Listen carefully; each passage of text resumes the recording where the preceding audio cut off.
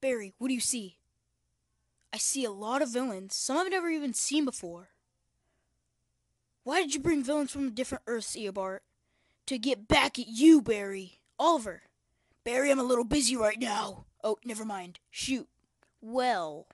Thought has burned villains from different Earths. Ah, Barry, you know how I feel about people from different Earths. I'll be there in a flash. Real mature, Oliver. Ooh, what's that? You'll pay for your crimes, son. What are you guys doing? There's no one even there. Correction! There was no one there. And then there were three. Make that four. Hey guys, thought I would drop in. Cisco, where's Caitlin? Back at Star Labs. Let's go! I thought if we could get Gypsy, she could help us. Oh. Of course.